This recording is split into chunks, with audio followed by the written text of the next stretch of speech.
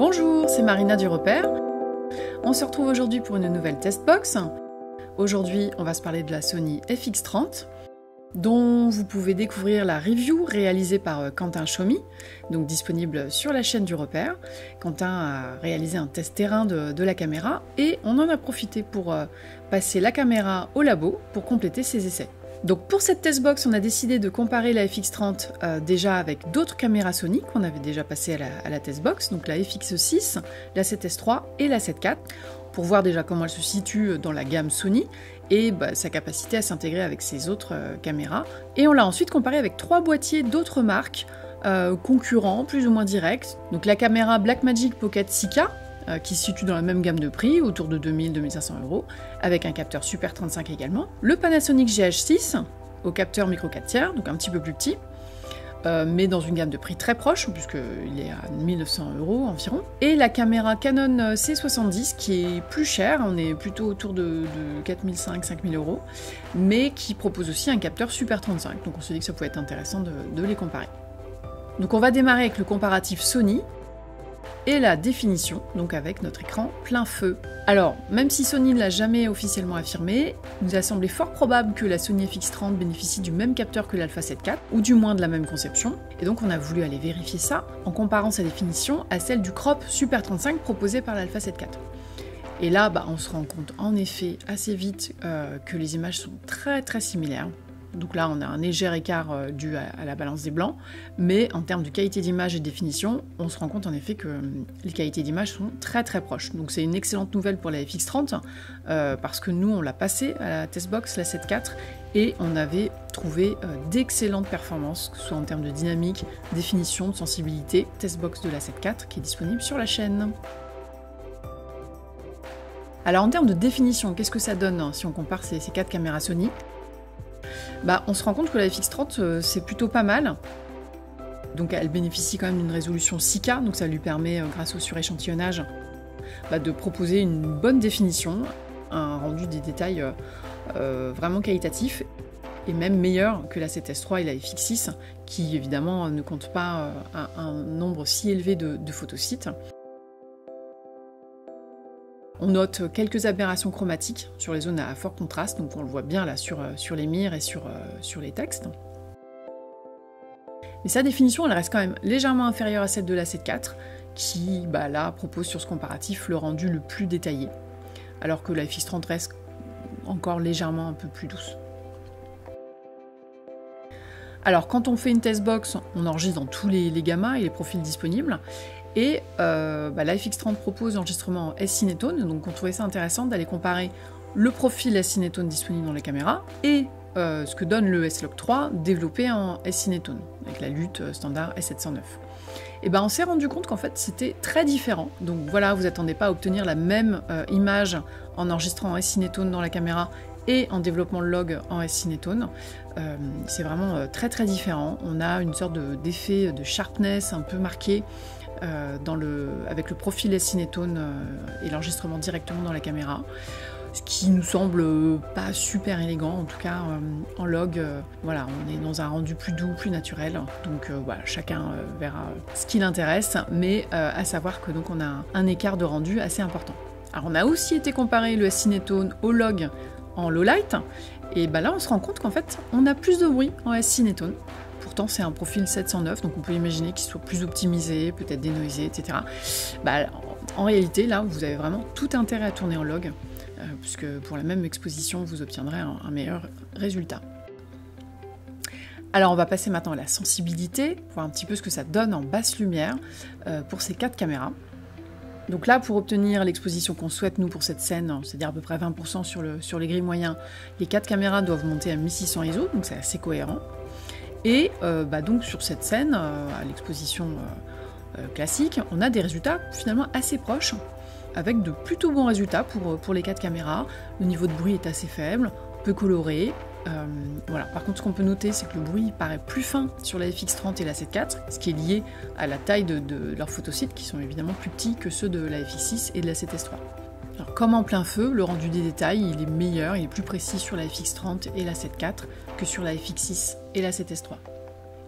Maintenant, on va regarder un petit peu ce qui se passe si on monte dans les ISO. Donc là, c'est une montée en ISO compensée, ce qui veut dire que pour chaque diaph euh, d'exposition gagnée par les ISO, on va le compenser par le shutter et les filtres ND. L'idée étant de garder une, image qui soit visuellement comparable, même si on monte dans les ISO. Alors, à plus un diaph, donc toutes les caméras sont à 3200 ISO, on voit le bruit euh, évoluer de, toutes les caméras, en tout cas de la FX30, de la 7S3 et de la FX6.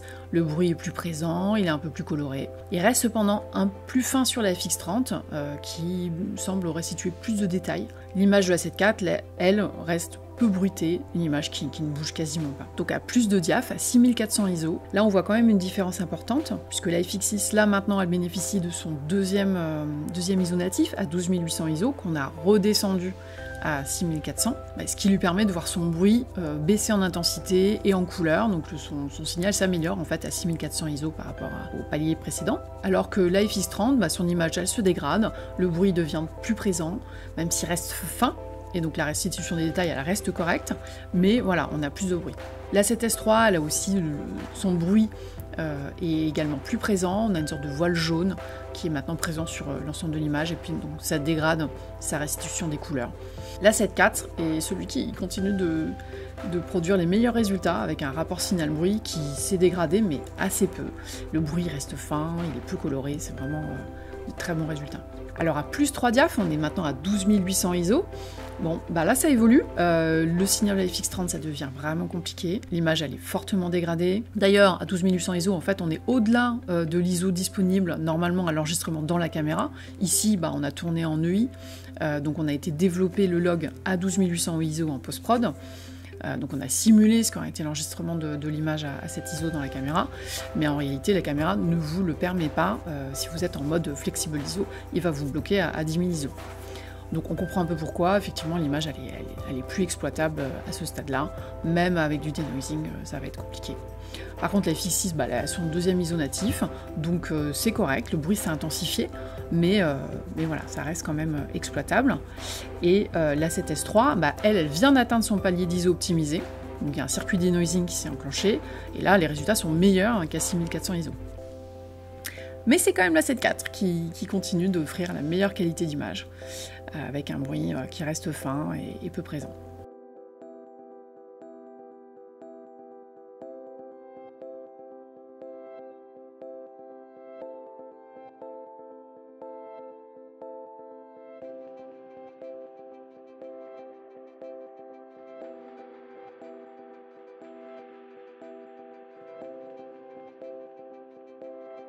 Donc là maintenant voici cette même montée en ISO compensée, mais uniquement sur la FX30, euh, pour que vous puissiez faire une idée un petit peu du rendu euh, au fur et à mesure de la montée de l'ISO euh, sur la caméra.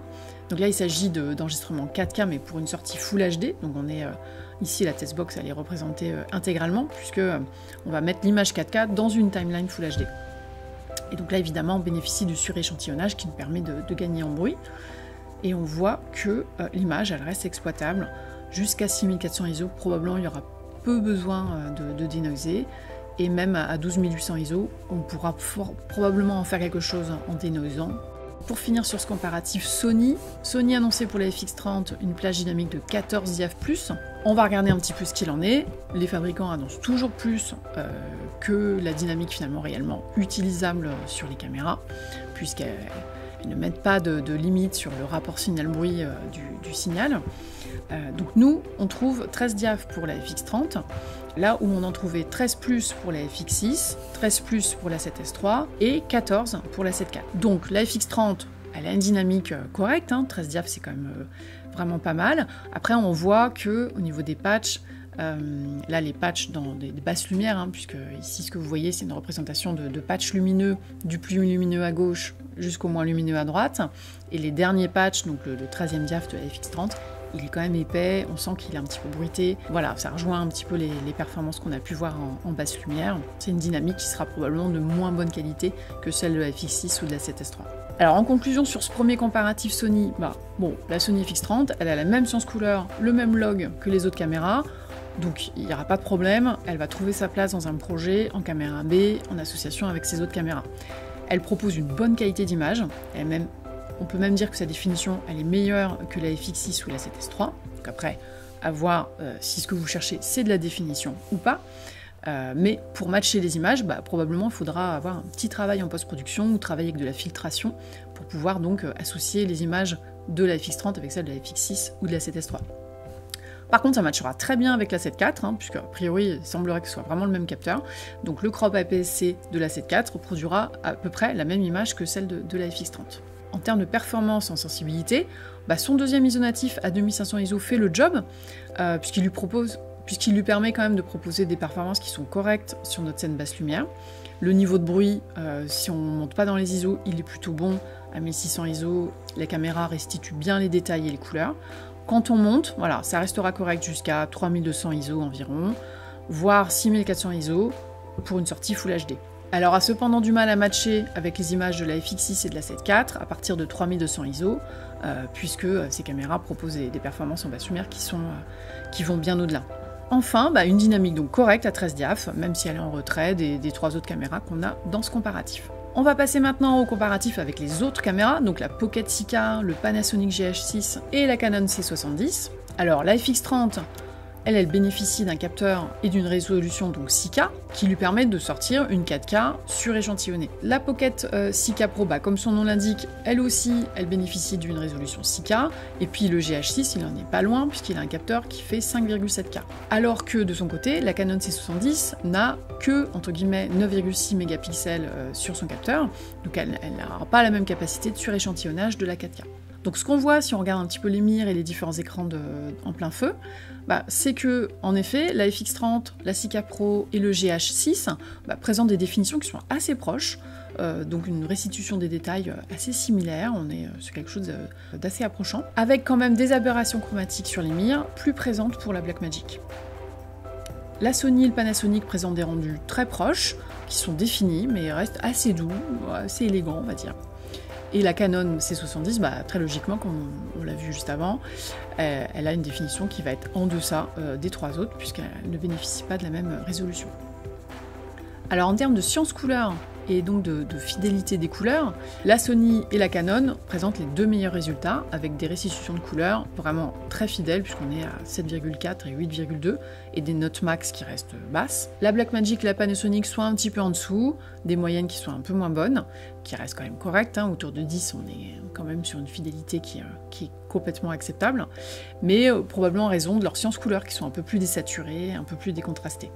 On a été voir un petit peu du côté du rendu des tons chers avec notre mannequin Carole. Voilà, c'est pour vous donner un petit peu une idée de, ce que proposent les fabricants avec leur science couleur standard. Euh, évidemment, le but du log, c'est d'étalonner, donc vous ferez bien ce qu'il vous chante euh, ensuite avec, euh, avec vos images, mais voilà, en standard, les différents rendus des tons chers proposés par ces quatre fabricants. Donc avec un rendu bah, plutôt désaturé sur le Lumix, une tendance plus magenta du côté de Canon. Euh, et puis euh, des tons un petit peu plus vers le jaune euh, du côté de Sony et de la Pocket. En basse lumière, la fidélité des couleurs reste bonne pour les quatre caméras, on va dire que c'est cohérent en tout cas. Donc sauf le GH6 qui effectivement a une science couleur qui a tendance à faire décoller un petit peu les, noirs et les tons sombres et donc faire shifter les couleurs qui donc s'éloignent de la référence attendue. Alors donc on enchaîne avec justement l'écran basse lumière pour aller regarder un petit peu la, sensibilité de ces quatre caméras. Alors la Sony, la Canon et la Pocket 6K, bah, elles délivrent de plutôt bons résultats avec un niveau de bruit qui est contenu, qui est peu coloré, des couleurs qui ne dérivent pas trop, et puis bah, un bon niveau de restitution des détails. Alors, le Panasonic GH6 qui est à 1000 ISO pour obtenir euh, cette exposition. Donc, il est déjà deux diaph au-dessus de son ISO natif, qui est assez bas euh, en log, hein, qui est à 250 ISO. Euh, délivre de moins bons résultats que les autres caméras. Son bruit est déjà assez épais, assez coloré, bah, visible aussi en raison de sa science couleur, qui a tendance à décoller les noirs. Et puis, bah, on a une image qui a quand même perdu en texture, en couleur. Donc, donc des résultats un peu moins bons pour le GH6. Alors on passe à la montée en ISO compensé. Donc à plus un diaph, on l'a vu sur le comparatif Sony. La FX30, bah, son bruit devient plus épais, un peu plus coloré. La Pocket 6K Pro à 2500 ISO, elle propose une image euh, assez similaire. Le GH6 qui est passé à 2000 ISO eh ben, bénéficie maintenant d'une optimisation de son, signal qui est présente à ce palier de, sensibilité. Et donc bah, son bruit n'a pas trop bougé par rapport au, palier précédent, donc son signal ne s'est pas dégradé en montant. La C70 pour sa part, elle bénéficie du DGO, donc Dual Gain Output. Euh, elle s'est peu dégradée, donc à 3200 ISO, elle a un rendu euh, qui reste très peu bruité, euh, une restitution des couleurs qui n'a pas bougé, donc une image qui en reste encore de, de très bonne qualité. Plus de diaph, donc on est à 6400 ISO pour la FX30 et la C70. Là, il faudra euh, probablement dénoiser pour pouvoir euh, exploiter les images des, caméras. On a atteint un petit peu la limite. La Sika Pro et la FX30 présentent désormais un bruit euh, assez épais, vibrant. Le bruit de la C70 a augmenté, mais il est quand même moins présent que sur les autres caméras. Il semble plus fin malgré ses photosites qui sont plus gros que ceux de, la FX30 et moins coloré. Donc il, conserve encore de, de meilleurs résultats à 6400 ISO. Et l'image du GH6, elle s'est désormais euh, très dégradée, avec un voile général de bruit qui s'est installé, une image décolorée et euh, une importante perte de détails. Alors si on passe maintenant à la dynamique pour les 4 caméras, donc la FX30 avec ses 13 diaph, la Sika Pro propose une dynamique assez proche, donc 13 diaph aussi, mais quand même des patchs dans les, basses lumières qui semblent moins bruitées et un seuil de bruit plus contenu. La C70 toujours avec cette technologie DGO, bénéficie d'un diaph de plus que, ces deux autres caméras, donc à 14 diaph. Et le GH6, bah, c'est la caméra qui présente la dynamique la plus réduite de ce comparatif, donc avec 11 diaph, qui monte à 12 si on active le mode Dynamic Boost Range, euh, puisque ça lui permet de gagner dans les hautes lumières, mais aussi de réduire le bruit, donc euh, de gagner euh, un tout petit peu plus qu'un diaph. En conclusion, pour cette testbox Sony FX30, bah 2000 euros ou presque, hein, juste un, petit peu au-dessus, et eh ben c'est une caméra qui propose quand même des performances et une qualité d'image très satisfaisante. Euh, donc notamment une excellente définition grâce au grand nombre de photosites de son capteur, sa résolution maximale 6K euh, qui lui permet donc de bénéficier d'un suréchantillonnage très efficace en 4K. Alors nous on recommande vraiment d'enregistrer en log sur ce boîtier, ou en tout cas si vous êtes attiré par la science couleur Sony euh, et le profil S-Cinétone, allez le chercher en post-production, n'ayez pas peur du log. Euh, vous en aurez moins que si vous tournez en S-Cinétone euh, directement dans la caméra, surtout en, basse lumière. Donc euh, allez-y, voilà, allez, shootez en log, bénéficiez de la, dynamique complète du capteur pour la caméra. En basse lumière, avec son deuxième ISO natif à 2500 ISO, bah, la FX30 elle s'en sort plutôt bien, on va dire jusqu'à 3200 ISO, puisqu'elle a un bruit qui est assez fin, qui est peu coloré, une bonne restitution des détails, donc une qualité d'image plutôt correcte jusqu'à 3200 ISO. Et enfin, eh ben, une dynamique de 13 diaph qui est quand même très honorable pour son prix. Voilà, il faudra dépenser euh, beaucoup plus pour obtenir de meilleures performances. Je vous invite à aller regarder la review terrain de cette caméra réalisée par Quentin Chaumy, un excellent test très complet donc à voir sur la chaîne du repère. Et puis si vous voulez euh, venir papoter de tout ça euh, sur le repère, il y a une discussion ouverte à ce sujet. N'hésitez pas à nous proposer des caméras que vous aimeriez voir en test sur la chaîne et on vous dit à très bientôt. Ciao